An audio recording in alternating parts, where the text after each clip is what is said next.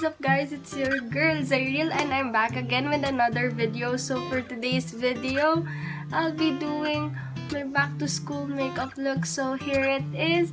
And yeah, for those who are new to my channel, hi, my name is Ariel. It's nice meeting you. I am a 16-year-old Filipina YouTuber who does beauty and lifestyle videos and I also do vlogs. So if you haven't subscribed to my channel yet, just click the subscribe button below and the bell button to be notified whenever I posted a new video. Sorry guys kung hindi pa ako nakakapag-upload ng back to school haul video kasi August pa yung pasok ko and by July pa ako mamimili ng gamit and you know by July pa ako mamimili ng gamit. So expect nyo na, na by July mag-upload ako ng back to school haul video kahit medyo late na siya.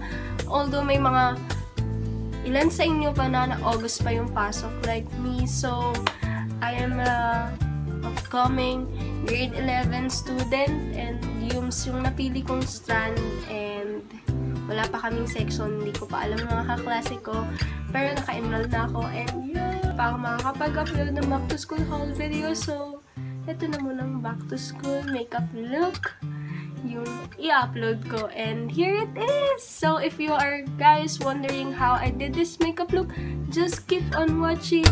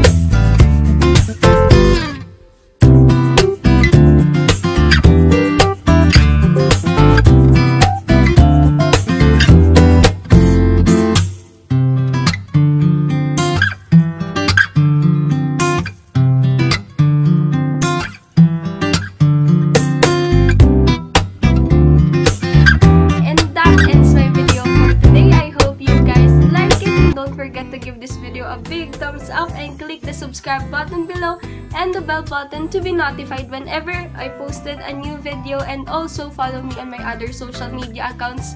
I will link my social media accounts in the description box or here in the screen. And yeah, again, this is me, Zariel, and always remember, be yourself. Bye!